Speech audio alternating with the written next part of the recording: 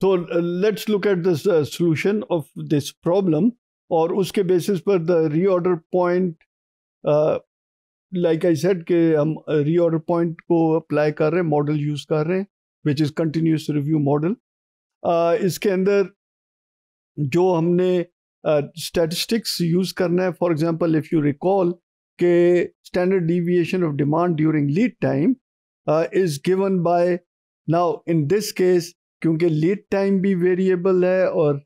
Demand भी variable है तो हमने ये फार्मूला यूज़ करना है जिसमें दोनों lead time and demand are variable उसके लिए बेसिकली अब हमें जो इशू है that is standard deviation of lead time उसको हम किस तरह कैलकुलेट uh, करें। नाउ जो इधर फिगर दी हुई है S L T square that is basically variance ठीक है, इसको हम वेरिएंस कहते हैं। जो स्टैंडर्ड डिविएशन को हम स्क्वायर कर लें तो वो वेरिएंस होता है। एक चीज़ का आपने ख्याल रखना है कि स्टैंडर्ड डिविएशंस को हम आपस में ऐड नहीं कर सकते। हम क्या कर सकते हैं? हम वेरिएंस को ऐड कर सकते हैं स्टैंडर्ड डिविएशन को स्क्वायर करें और फिर उसको सम करें।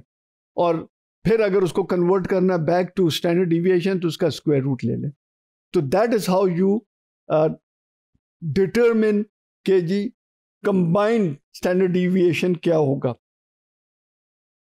अब इस बेसिस के ऊपर जो स्कीमेटिक डायग्राम है, उसको अगर हम देखें तो let's see this is the processing plan यहाँ प्रोसेस हो रहा है and this is the probability distribution of processing time तो प्रोसेसिंग टाइम लग रहा है तो उसके अंदर प्रोबेबिलिटी डिस्ट्रीब्यूशन आ गई तो दैट मीन्स कि there is a variability X average time जो है प्रोसेसिंग का is one where as the variance क्योंकि स्क्वेयर है तो is equal to point one अब इधर से प्रोसेस होकर मटेरियल निकलता है and it goes to the ये इनबाउंड ट्रांसपोर्ट है, उसके बेसिस के ऊपर इट रीचेज ये ट्रांसपोर्टेशन टाइम के इट इज़ पूल पॉइंट अब ये जो है, ये ट्रांसपोर्टेशन टाइम है which is again also variable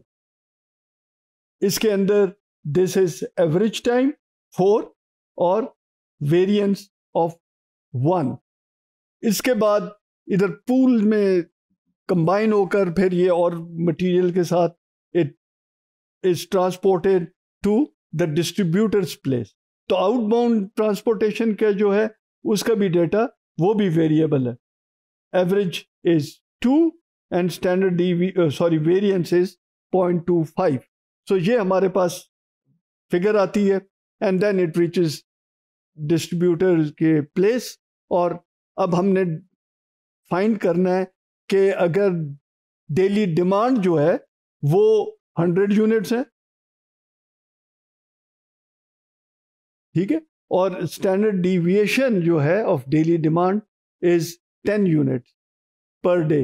तो उस बेसिस के ऊपर हमारी जो बाकी स्टैटिस्टिक्स है, वो हम उसको कैलकुलेट करें तो वो क्या आएगी?